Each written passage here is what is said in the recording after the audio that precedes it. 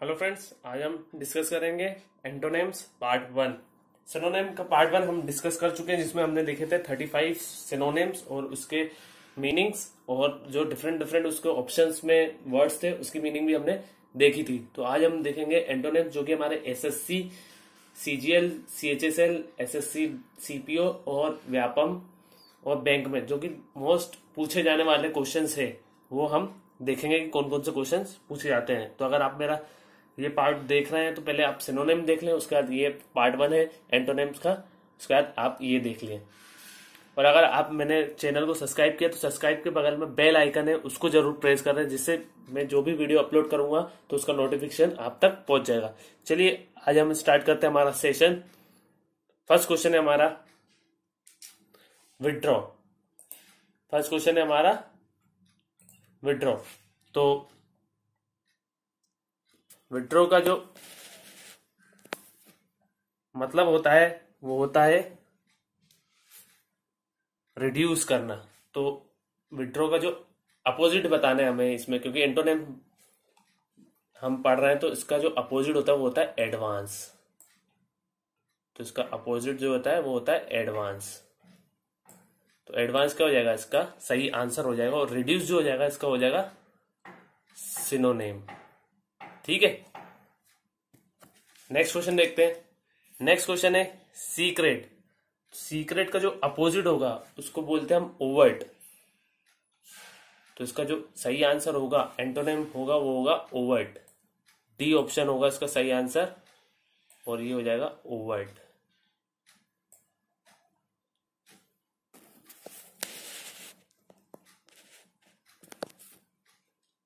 और जो कोवर्ट और हिडन हो जाएँगे, इसके सिनोनेम्स हो जाएँगे। तो सीक्रेट का मतलब होता है जो छुपा के रखना तो उसका सिनोनेम ये हो जाएगा और हिडन भी इसका क्या हो जाएगा? छुपा नहीं होता है वो।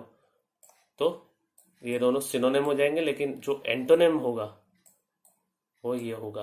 तो ओवर्ट इसका सही आंसर हो जाएगा। नेक्स्ट क्वेश्चन है हार्ट फेल्ड तो हार्ट फेल्ड का जो अपोजिट होता है, वो होता है इनसिंसियर इनसिंसियर इसका आंसर होगा।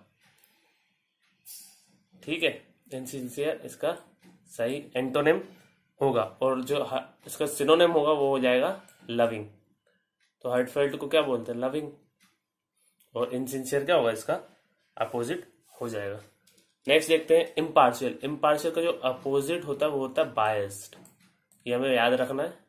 इम्पार्शियल का अपोजिट क्या होता है? बायस्ड सीधे सीधे क्वेश्चन पूछा जाएगा ये एसएससी के पेपर में. नेक्स्ट ल्यूमिनियस ल्यूमिनेट्स मतलब लाइट से रिलेटेड है और इसका जो अपोजिट होगा वो हो जाएगा डिम तो इसका अपोजिट जो हो जाएगा, वो हो जाएगा डिम नेक्स्ट देखते हैं.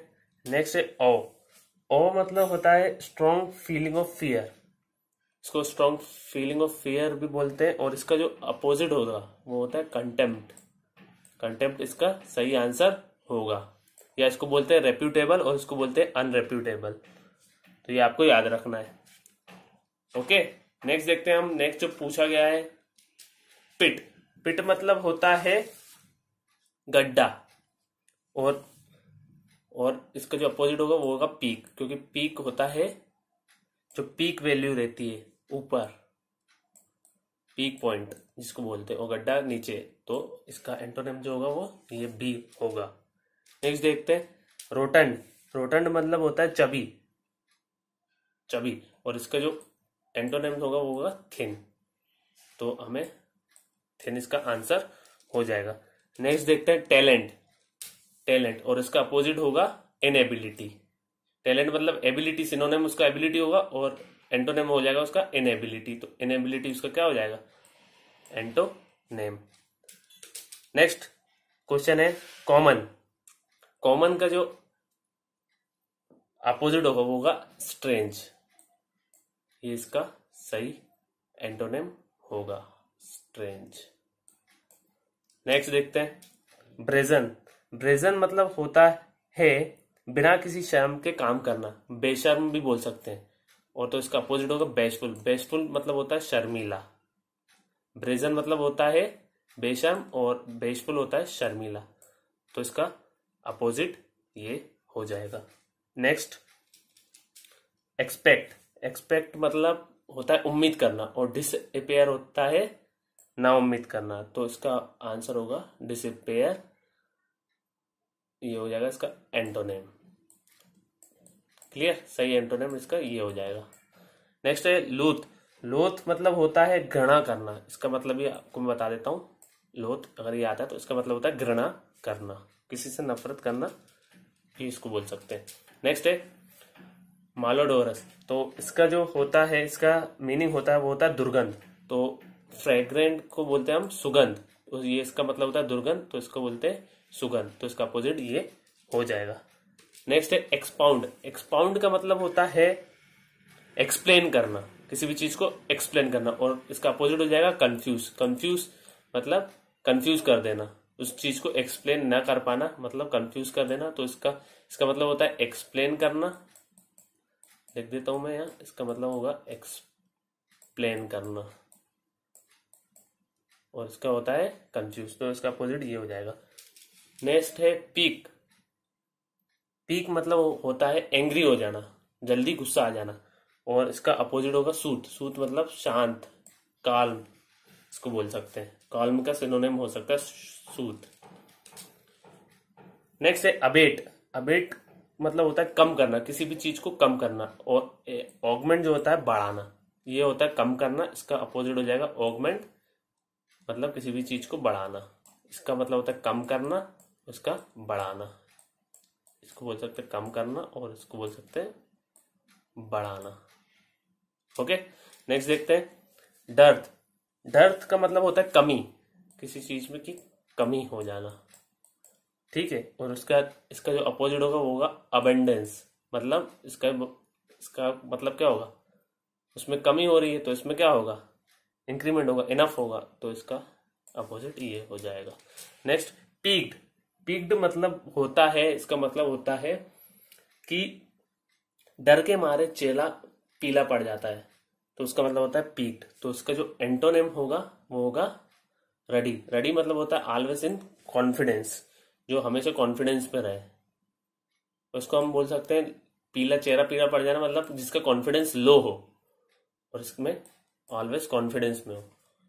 नेक्स्ट अब्रिज अब्रिज का मतलब होता है शॉर्टन इसका जो मतलब होता है वो शॉर्टन होता है तो सिनोनेम इसका शॉर्टन हो जाएगा, और एक्सटेंड जो होगा उसका एंटोनेम हो जाएगा। तो अभी हम एंटोनेम पढ़ रहे हैं तो इसका करेक्ट आंसर क्या होगा? एक्सटेंड हो जाएगा। नेक्स्ट देखते हैं। नेक्स्ट क्वेश्चन है हमारा किंडल किंडल का मतलब होता है प्रज्वलित करना मतलब इंकरेज करना किसी भी चीज़ को। लेकिन जो इसका परफेक्ट एंटोनेम होगा, वो होगा स्मूदर स्मूदर का मतलब होता है डिस्करेज करना। ठीक है? लेकिन डिस्करेज भी ऑप्शन में दिया है। अगर इन दोनों में से, ये दोनों ऑप्शन में दिया है तो हम स्मूदर को पहले प्रेफरेंस देंगे। अगर ये ऑप्शन में नहीं है तो हम क्या मार्क करेंगे? डिस्करेज मार्क करेंगे। लेकिन स्मूदर का मतलब भी होता है, जो परफेक्ट इसका एंटोनेम होगा, वो होगा स्मूदर उसका मतलब होता है डिस्करेज करना। नेक्स्ट देखते हैं. मीगर मीगर मतलब होता है बहुत ज़्यादा कम. और इसका जो अपोजिट होगा, वो होगा कॉपियस कॉपियस मतलब होता है इनफ मतलब बहुत ज़्यादा. तो इसका सही आंसर क्या हो जाएगा? कोपियस हो जाएगा, क्योंकि कोपियस इसका एंटोनिम्स हो जाएगा. इसका मतलब होता है बहुत ज़्यादा कम और इसका इनफ नेक्स्ट देखते हैं. नेक्स्ट है फिलिस्टाइन फिलिस्टाइन का मतलब होता है अशिक्षित और इंटेलेक्चुअल का मतलब होता है शिक्षित. तो सिंपल है इसका, अपोजिट, पता चल जाएगा मैं देखते सही। तो इंटेलेक्चुअल इसका आंसर हो जाएगा। जैनित ये बहुत ही ज़्यादा इंपॉर्टेंट वर्ड है। एसएससी के पॉइंट ऑफ़ व्यू से देखें तो इसका मतलब होता है जैनित का मतलब होता है पीक मतलब highest point peak peak value और जिसको अपोजिट होगा, वो होगा नादिर, जो कि सबसे बॉटम वैल्यू रहेगी, नीचे की वैल्यू उसको बोलेंगे नादिर। इसका अपोजिट हो जाएगा। नेक्स्ट देखते हैं। जर्मेन जर्मेन का मतलब होता है रेलिवेंट रेलिवेंट इसका मतलब होता है तो इसका अपोजिट क्या हो जाएगा? इरेविलेंट सिंपल है ये, बहुत ही। तो इरेविलेंट इसका क्या हो जाएगा? एंटोनिम हो जाएगा। नेक्स्ट देखते हैं। नेक्स्ट है इरासिबल इसका मतलब होता है बहुत जल्दी एंग्री होना। इसका मतलब क्या होता है? बहुत जल्दी गुस्सा आ जाना किसी को। तो इसका अपोजिट हो गया प्लेसिड प्लेसिड मतलब होता है शांत हो जाए काल इसको बोलते हैं। तो शांत व्यक्ति है प्लेसिड और इसका, ये जो दिया है प्लाइंट इसका मतलब होता है मूर्ख। इसका मतलब होता है मूर्ख।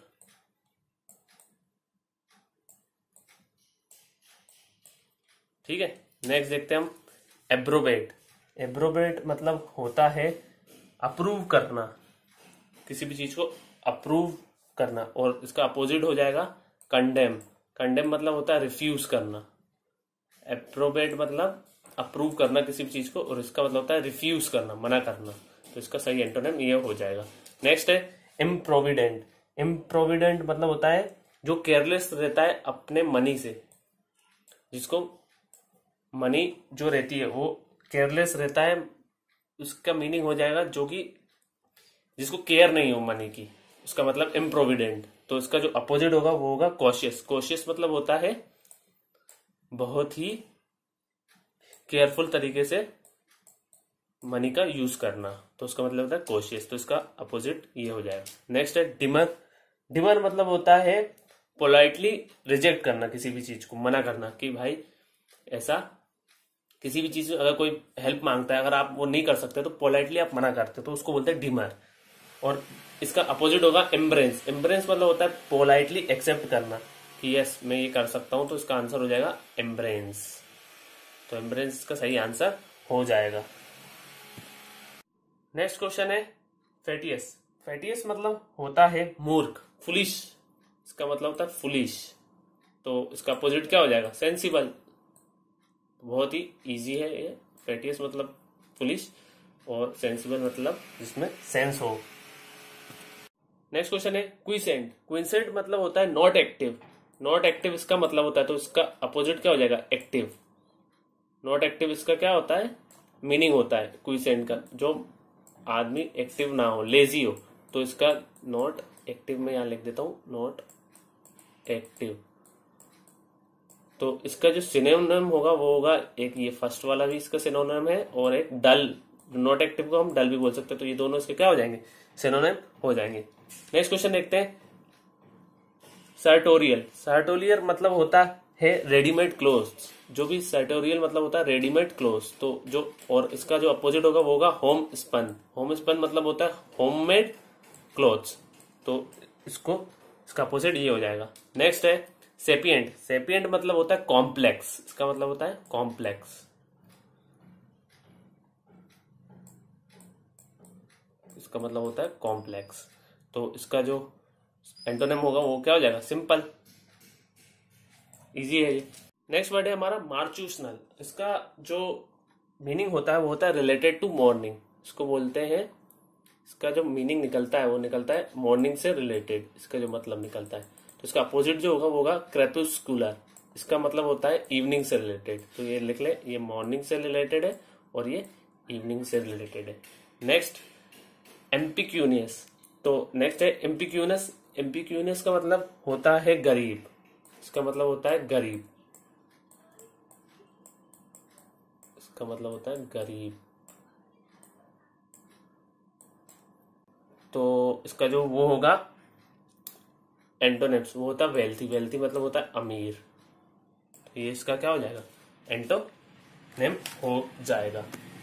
लास्ट क्वेश्चन है हमारे आज के सेक्शन का तो वो है सुपरसीलियस सुपरसीलियस मतलब होता है इगोइस्ट पर्सन जिसको ओवर कॉन्फिडेंस हो। अपने पे और इसका तो एंटोनेम क्या हो जाएगा? मीक मीक मतलब जेंटल नेचर वाला, जिसको मतलब अपने पे घमंड ना हो।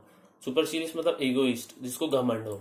ये बोल सकते हैं। और ये मतलब होता है जेंटल नेचर तो इसका अपोजिट ये हो जाएगा। आई होप आप सभी को मेरा ये वीडियो पसंद आया होगा। अगर आपको मेरा ये वीडियो पसंद आया तो मेरे वीडियो को लाइक करें शेयर करें अपने फ्रेंड्स के साथ और कमेंट बॉक्स में कमेंट करें, जिससे मुझे पता चल जाएगा कि मेरा वीडियो जो है वो आपको अच्छा लगा या नहीं। Thank you